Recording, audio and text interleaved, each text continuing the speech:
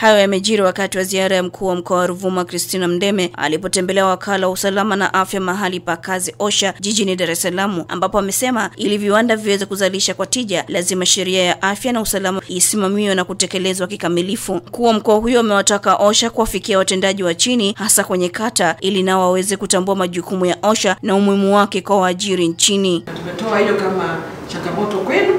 mwangalie jinsi gani ambavyo mza mkajipanga kutanuka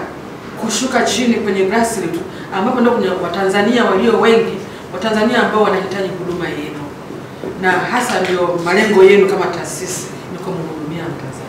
Kwa upande wake kaimu mtendaji mkuu OSHA Hadija Mwenda amesema uwepo wa viwanda zaidi ya mia moja katika mkoa wa Ruvuma wanawajibika kutoa elimu ya afya mahali pa kazi ili waajiri wajue umuhimu na hatua za kuchukua pindi panapotokea majanga. Hatua ambayo mkoa wa Ruvuma umefikia kwamba mpaka sasa una viwanda vinavyozidi mia moja na tano kwa maana kwamba wamevuka lile lengo ambalo lilikuwa limetolewa na Mheshimiwa Rais kwamba kila mkoa utengeneze viwanda mia.